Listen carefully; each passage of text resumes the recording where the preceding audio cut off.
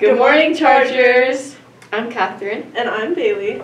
and, here is your Charger report.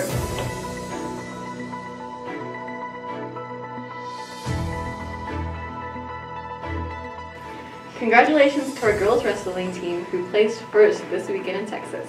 Special shout out to Cameron who beat the Texas State champion and to Janessa for claiming the title of the most outstanding wrestler at the tournament. We had so many accomplishments, so check them all out on our Instagram from two days ago, and then congratulate all of those athletes who crushed it in Texas.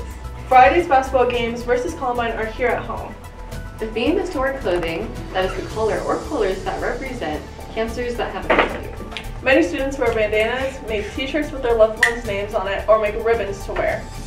It is a great way to honor those we love, so get your theme clothes ready before Friday.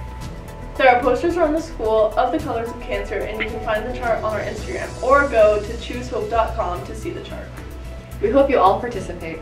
The times for Friday's games are unified at 4 o'clock, varsity girls at 5.30, and varsity boys at 7 o'clock. See you there! All juniors will be taking the PSAT next Wednesday. After the test, juniors will be dismissed from school. Next Wednesday is a regular full day for freshmen, sophomores, and seniors. Coming up on January 25th, we will be having a free practice SAT for you during the school day. This is a practice of what the actual SAT will be like, so you will have an idea of what to expect. Rosters will be posted on the bridge next week.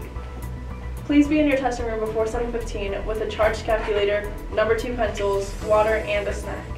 You will be dismissed from school after the test and will not be expected to go to the rest of your classes for the day. If you have any questions, please see your counselor. We want to wish our cheers good luck as they travel to nationals tomorrow. They had two amazing performances last night in front of a good-sized crowd. We know they will compete hard and accomplish great things in Texas.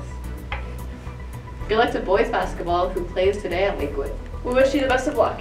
Here are this week's events.